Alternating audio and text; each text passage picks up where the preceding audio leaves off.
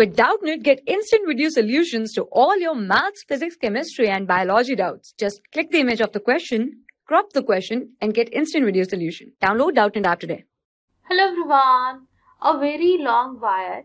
You can see A, B, C, D, E, F, D, G is shown in the figure and uh, it, it is carrying a current I.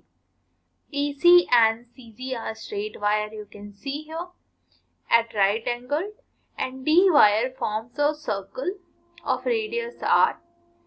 Then uh, it is tangential to the circular turn at B and D. Then you have to find out the magnetic field at the center of the circle.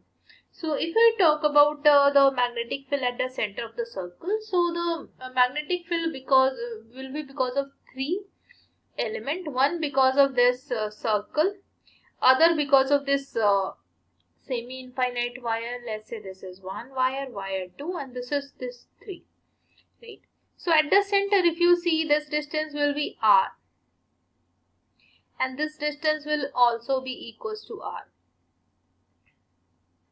And if I draw a dotted line like this, then this angle will be 45 degree. And this angle will also be equals to 45 degree. And we know that because of a current carrying wire, which makes an angle of which makes an angle of alpha and beta at a distance of r. Right?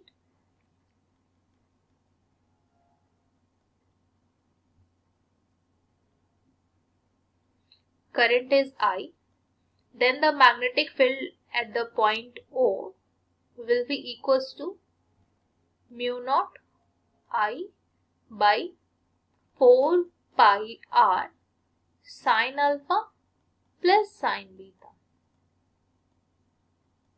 Right?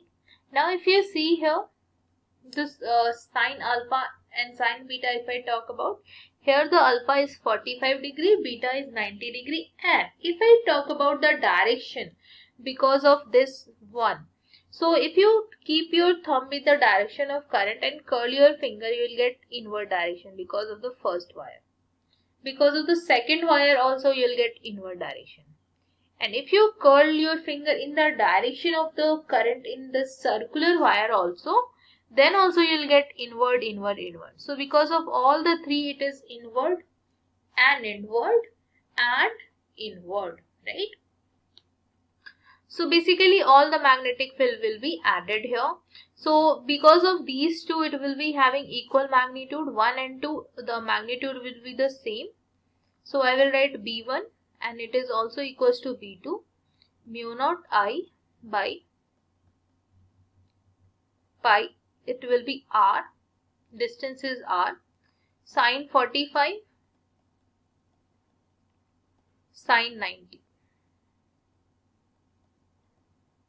sine 91 sine 45 is 1 by root 2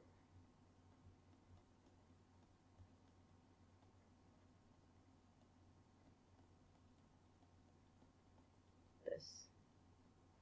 Now if you see we got the magnetic field because of the 1 and 2 and we know that because of a circular current carrying wire the magnetic field at the center is this. Okay?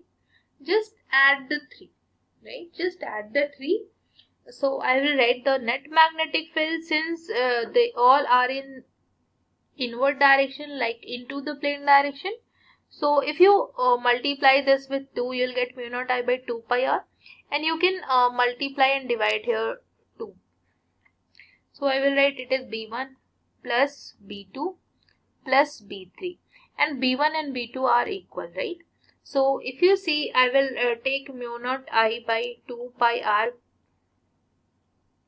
It will be 1. So I multiplied this with 2. So it is B1 plus B2 mu naught I by 2 pi r into pi. Take this mu naught i by 2 pi r common here.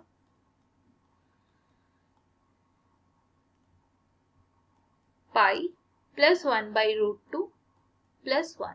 So this will be the net magnetic field and answer of this question.